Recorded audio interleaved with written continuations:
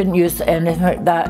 I was just like people that text me, and I was well, obviously I was able to text them back, but I couldn't get in. I didn't know how to text them first.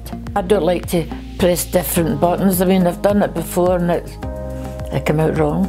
I had the tablet a wee file, good, a good a good file, and then I get the internet. In. I don't mean I'm frightened, but I'm frightened. I was in case I pressed the wrong the, the, wrong button, you know, the wrong thing, and somebody would maybe know what I was answering, but it, I know that that's not right now.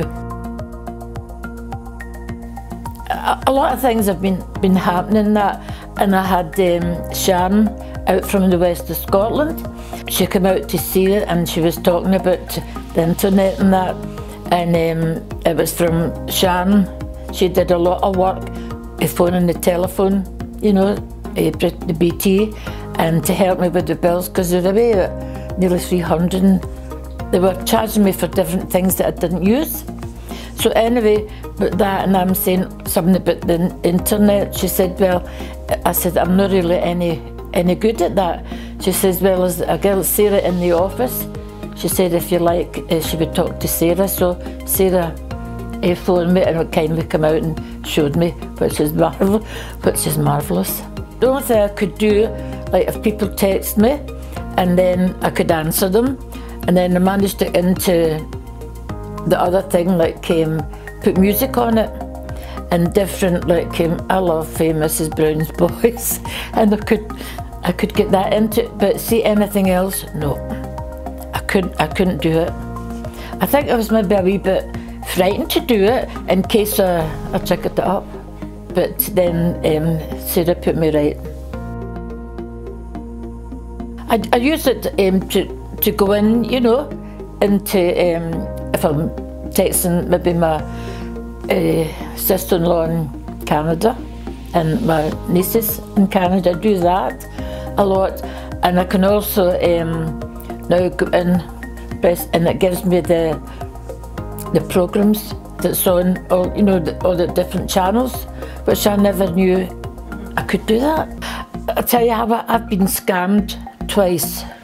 I scammed and a wee bit, I mean that was obviously last year, and a wee bit kind of, I don't know, apprehensive, maybe going on. But I know now what to do to, to go into it and all the different programs and I can get the football, which I love, and you know, you know, things like that. Um, I didn't know I could get um, pictures on it. And um, Sarah asked who my favourite film star was, and it's Gene Hackman. So she got a, a, you know, she got that up, and it's brilliant. Into different films and sports and even kids stuff. You know, the children's stuff. If the the wee ones come up, it really has it really has opened a different world and a different thing altogether for me, which I much appreciate.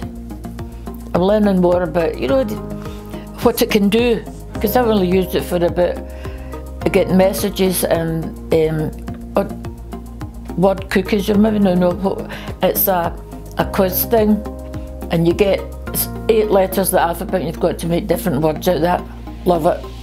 But um, then I could get into crosswords, you showed me, Sarah, didn't you? And it's great, I can get into all them now, no bother. No, I'm not, um, frightened or anything, I can go on it. No, no bother. I would say, well, go for it. Get Go someplace and get people to show you, because it, it opens a whole different world.